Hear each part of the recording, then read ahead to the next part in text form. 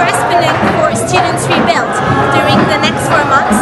ETN is a vocational training center based in Goma, Eastern Congo. It provides a one-year program for former combatants and child soldiers as well as for victims of gender-based violence. The students here at ATN range from 13 to 22 years old and often didn't get any other type of education prior. So Ah oui, moi c'est Eli Mourombo Mourima, je suis étudiant à l'EDAN. Ah, je viens de Massis, je suis originaire de Massis.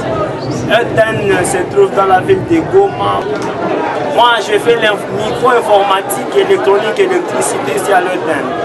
Global Nomads Group and Students Rebuilt uh, work here at ETN on a social entrepreneurship project and cultural exchange initiative to improve the livelihood of young people in the DRC. J'ai choisi la végétation. Souvent on me dit qu'au Canada, il y, a, il y a une grande partie de la forêt. Alors, Et au Canada, ils sont développés par l'agriculture. Alors je voulais simplement savoir comment ils ont fait pour parvenir à y arriver là où ils sont.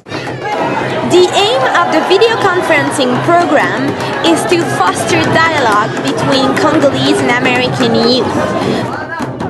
Ça veut les, les Américains ont leur culture et nous les Congolais avons notre culture. Alors le, ce spécial c'est l'échange de ces cultures. Ici, en RDC, nous avons beaucoup de cultures. Il y a les, les gens qui jouent, qui peuvent, qui démontrent euh, le machi, d'autres euh, le kinyarwanda, d'autres le kinande, d'autres le kiunde. Toutes les cultures ont fait aussi des jeux.